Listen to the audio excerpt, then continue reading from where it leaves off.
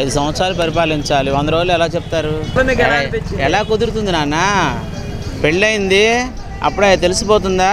ఎటువంటి వాడు అనేది ఇంకా మూడు రోజులు అయింది. మూడు రో మూడు నెలలు అంటే మూడు రోజుల కింద లెక్క.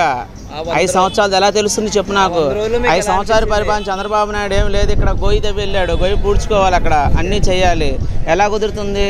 వంద రోజుల్లో మాకేం అవ్వలేదు అంటారు చాలామంది. వంద రోజులు ఏం చేయగలరు? వంద రోజుల్లో చంద్రబాబు నాయుడు ఏం చేశాడు ఆయన అడుగుతారా మీరు వెళ్ళి నరేంద్ర మోడీని అడుగుతారా? వంద రోజులు ఏమైంది అనేది అడగల. ఈయన ఎందుకు అడుగుతారు? వంద రోజులు ఏం చేయగలరు అసలు?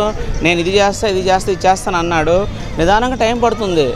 అంతేగాని అసలు వానలు లేవు వానలు పడినాయి అన్నీ చేయాలి. ఇదిగో వచ్చేసింది వానలు అంటే ఎక్కడి నుంచి వస్తాయ్యా అసలు ఆలోచించరా మూడు నెలల పది రోజుల్లో మనం ఏం చేయగలము?